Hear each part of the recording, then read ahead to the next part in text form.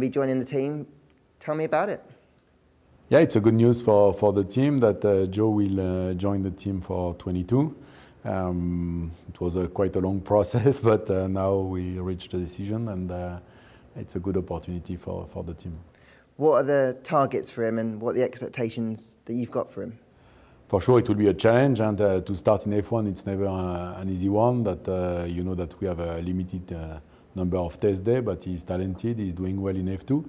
He's uh, still in uh, competition for the for the title with Oscar, and that I think that he has everything to, to be successful in F1. That now that um, for sure it's a challenge, but it's a challenge for everybody. That, um, you spent some time, many weeks in fact, kind of deliberating over this decision.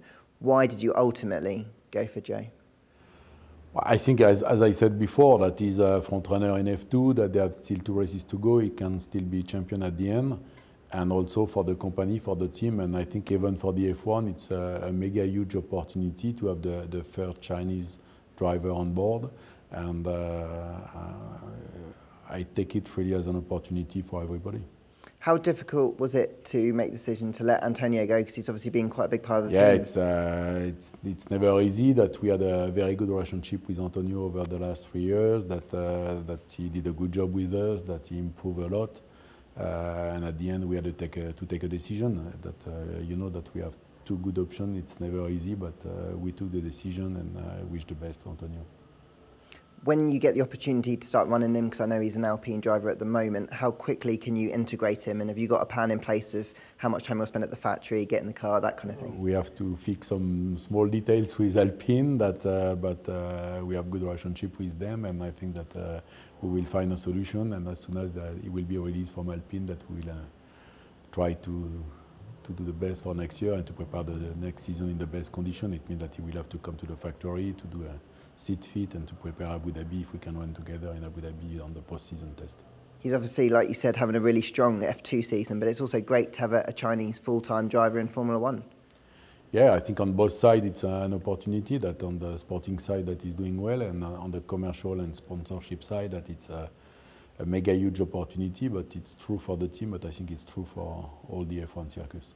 Have you already found out in the discussions how useful it will be to have a Chinese driver in the team? Uh, we are starting the process, but it's a long one. I think it's a complex one. But uh, no, no. But uh, i think that we will enjoy the next uh, uh, months and the next season because that it's uh, it's I, again I take it as an opportunity and we have to jump on the opportunity.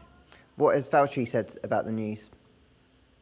Well, I think that he honestly that uh, he doesn't care about the teammate, and uh, it's the right attitude. That uh, it's important for him to to, to know that uh, the decision is done and that we can move forward and uh, now to to be fully focused on 2022. And I think it's uh, it's more this than the choice of the driver. That the choice of driver when you are focused on performance, it's not an issue.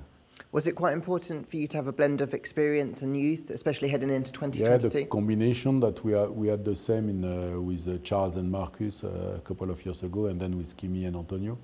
It's always a good one. To start with two rookies is quite sometimes quite difficult because that uh, with six days there, if you have uh, some reliability issue or uh, weather issue, as we had two or three years ago, it's becoming very, very tricky. But at least with uh, one experience coming from uh, uh, Mercedes and, and Zhou coming with the F2, it's a very good balance.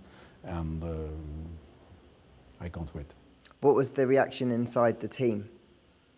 I think that every first everybody is happy to the decision is done because that now we can be focused on uh, on the next page of the of the story of the of the team and the next challenge, and uh, I think they will all enjoy to to work with Zhou.